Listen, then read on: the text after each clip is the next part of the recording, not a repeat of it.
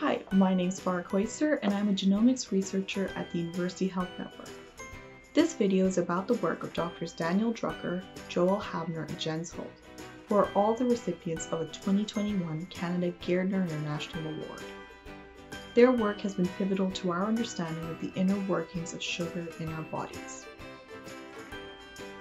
Your body uses chemical messengers, called hormones, to maintain healthy levels of sugar in your blood. For instance, insulin stimulates the cells in your body to take up glucose so that it can be used as a fuel. On the other hand, glucagon does the opposite. It stimulates the body to move glucose out of cells, raising the level of sugar in your blood.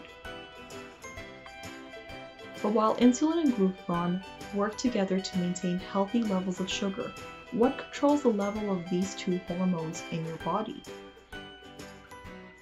This is what doctors Daniel Drucker, Joel Habener, and Jens Holst have been investigating for the past 30 years.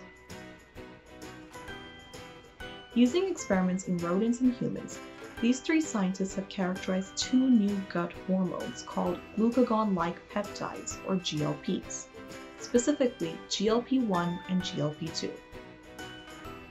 They found that GLP-1 helps stimulate the release of insulin, helping normalize high levels of blood sugar, while GLP-2 acts as a growth factor and stimulates growth in the intestine.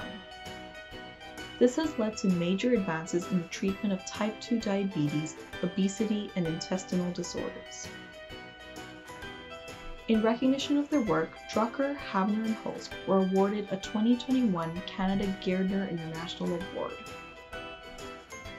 Anyway, thanks for listening. Don't forget to check out the other videos and other comics. Bye for now!